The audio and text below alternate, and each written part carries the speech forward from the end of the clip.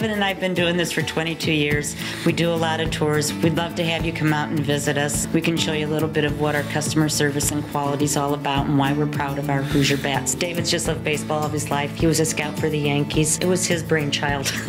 he would sign these players and they would call him and say that they were having a hard time making the change from hitting with aluminum to wood. So he invented our bat we call the Wood Force 2000. We use soft maple in the end, hickory in the sweet spot. Because there's a short piece of ash in the handle, we can put a very hard professional stick in the handle. Then we finger joint, and that joint is just like a welded steel. It was really interesting. I mean, you did. You hold a bat in your hand, but you might not think about what goes into making a bat. You know, it's kind of nice to see something that's still homegrown, made here, right in your own backyard. Whether it's your boy that's calling and ordering or Prince Fielder calling, it's all coming out of the same wood supply. We usually have about 25 or 30 major league players in a season. People want to know if they're superstitious. We had one player, we sent him his bats and he said they were wrong. We redid them, sent him new bats, still wrong. We went through this three or four times, and he said, You still can't get this right.